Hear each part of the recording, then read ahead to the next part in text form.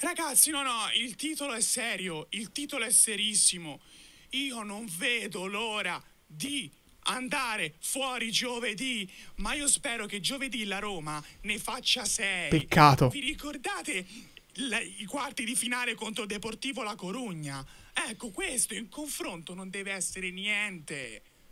Giovedì la Roma ce ne deve fare sei. Giovedì a Roma. Giovedì ci devono rispedire a Milano a calci in culo. A calci in culo. E io, ragazzi, non vedo l'ora. Sto contando i giorni perché la Roma ci rispedisca a Milano con 4, 5, 6 gol fatti. Perché è questo che ci meritiamo. Que- E ragazzi, l'ora è arrivata. Ed era inevitabile che arrivasse. E questa, ragazzi, è la resa dei conti in faccia alla gente che da quel famoso Milan Sassuolo 2 a 5 si sta in massa disiscrivendo dal mio canale, mi sta dando del pagliaccio interista, mi sta dicendo le peggio cose perché non vogliono vedere la realtà. E io su queste cose, ragazzi, ci godo un casino. Sapete che c'è? È giusto così. E io godo più di un romanista. Godo più di un romanista perché oggi vengono tutti i nodi al pettine, ma i nodi al pettine aspettate che ne verranno altri lunedì, perché lunedì ci sarà tutto un altro discorso da fare e lo faremo quando l'Inter vincerà 3-4 a 0, non vi preoccupate.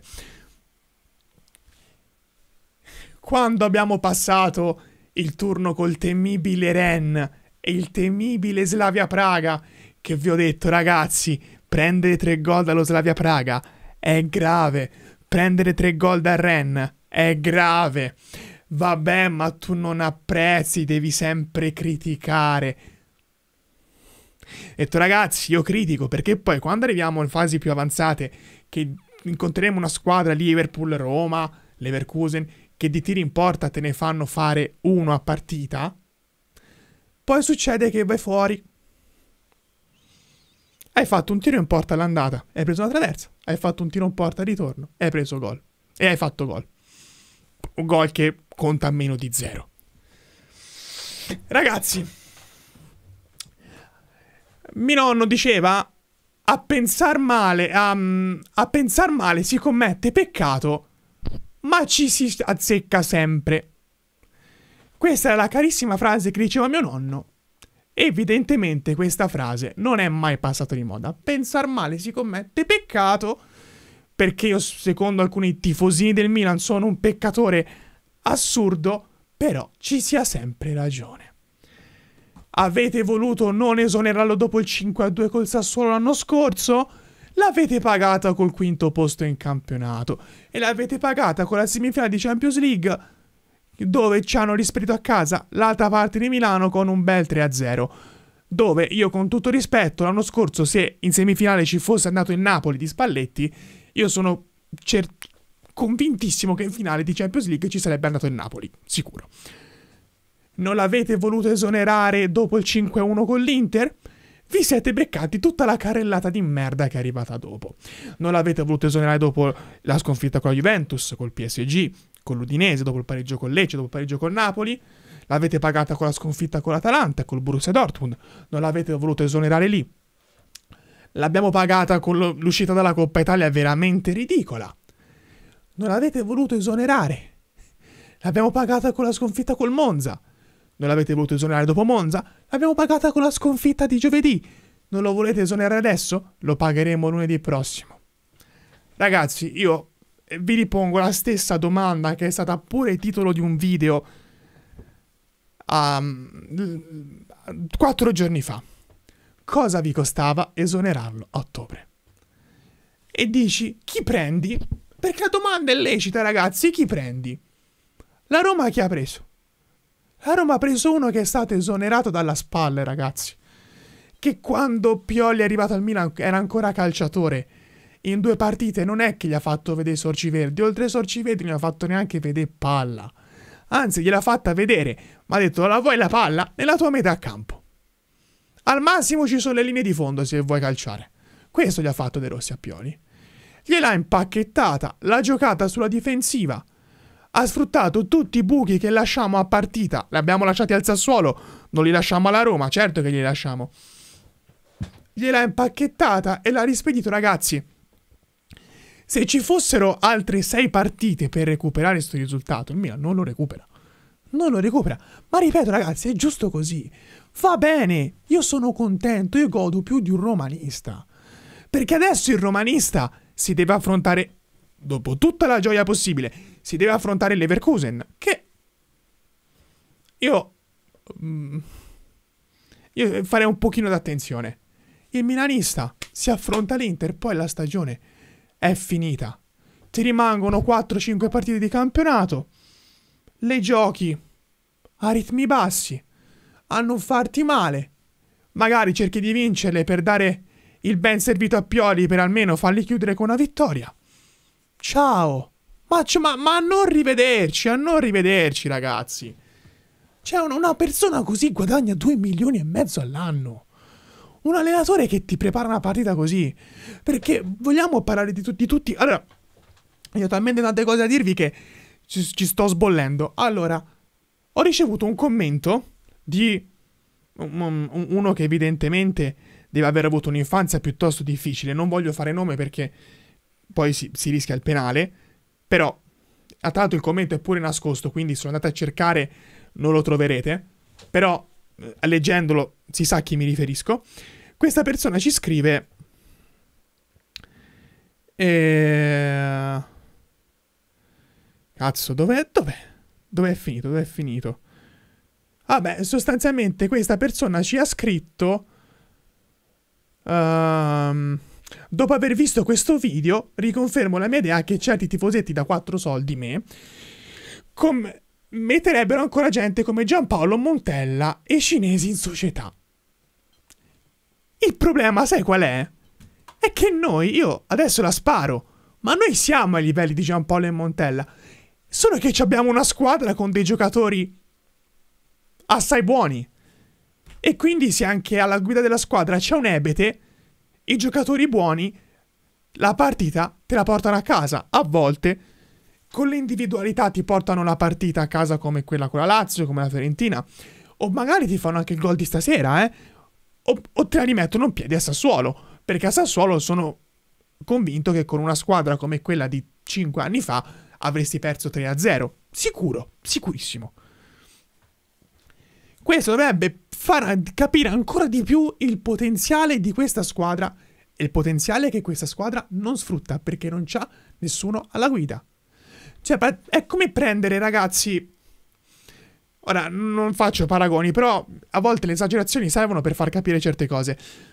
Prendiamo Messi, Ronaldo, Mbappé, Holland, Yashin, tutte le icon di FIFA, le mettiamo in una squadra e le facciamo allenare da Aldo, Giovanni e Giacomo. Cosa fanno Cosa fa questa squadra? Fa schifo. Falli allenare da un allenatore normale. Guarda Ancelotti ieri sera cosa ha fatto. Ancelotti è andato a Manchester dove l'anno scorso ci ha preso quattro pere. Si è messo dietro, l'ha portata ai rigori e l'ha vinta. Una partita dove il, City ha fatto 90 azioni e ha trovato un gol. I campioni d'Europa hanno fatto 90 azioni e hanno fatto un gol solo. Stasera la Roma ha fatto tre azioni e ha fatto due gol. Ti hanno pure lasciato in, die- in 10 contro 11 e tu ragazzi non hai combinato un cazzo. E quel pu- a quel punto ti dici ma è giusto che mi meriti di perdere? È giusto che tu ti meriti di perdere. Io a questa persona, questo, questa persona con l'infanzia un po' difficile, gli ho pure risposto che guarda che, con maniera molto educata, ho detto guarda che se Milan va male è anche per colpa di gente come te perché voi continuate a difendere una persona che è oggettivamente più di un anno che sta facendo schifo. Il Milan, poiché basta guardare la maglia, non serve conoscere la guardare la maglia, leggere 19 scudetti e 7 coppe dei campioni. Non si vede i ricordi, però una squadra con una storia così deve puntare ad avere il meglio in campo, in panchina, in tribuna, in società. Deve puntare ad avere il meglio. E forse la panchina è il primo. È il, è il primo posto dove veramente non puoi sbagliare il colpo. Perché in due anni, ragazzi, di esempi di allenatori che hanno fatto bene, ne avete avuti a valanghe. A valanghe, ragazzi. Avete avuto l'esempio di Spalletti, che ha preso un Napoli forte, ma l'ha reso ancora più forte. Gli ha fatto vincere il campionato con 90 punti suonati. Quest'anno la stessa squadra senza il difensore centrale sono esimi in campionato. La Roma che ha perso tutto quello che poteva perdere, ha preso l'allenatore della primavera, è risalita. La Lazio che anni fa esonerò proprio l'imbecille di Pioli per prendere Inzaghi e quest'anno Inzaghi li sta facendo vedere i sorci verdi, gli ha vinto 5 derby in faccia. Di che vogliamo parlare ragazzi? Ogni tanto assumersi il rischio non funziona? A me pare che funzioni. Io veramente mi, mi, mi chiedo... Boh. Io mi chiedo veramente... Io mm, vorrei veramente fare una domanda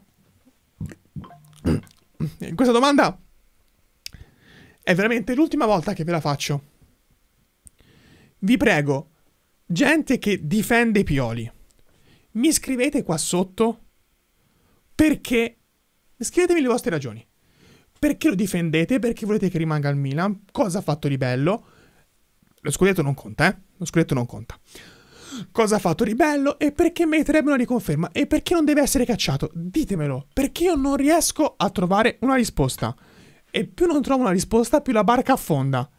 Io non sono uno che porta sfiga, non sono uno che pare le cose succedono perché porta sfiga. Non sono uno che ce l'ha che ti fa contro, non sono un pagliaccio interista, non sono uno che ce l'ha con voi. Io sono uno che guarda le partite di pallone, che analizza le situazioni e che sa già in anticipo quello che succede perché di queste situazioni ne ho piene le palle e ne sto, vi, le sto vivendo da un anno e mezzo. È da un anno e mezzo che dico che questa storia deve finire, continua a non finire e continua a peggiorare. Quando poi si arriverà il momento in cui avremo un allenatore migliore che farà, che dirà, un allenatore con la A maiuscola come all'Inter, come al Bologna, come anche la Roma, perché De Rossi ragazzi a Roma farà la storia.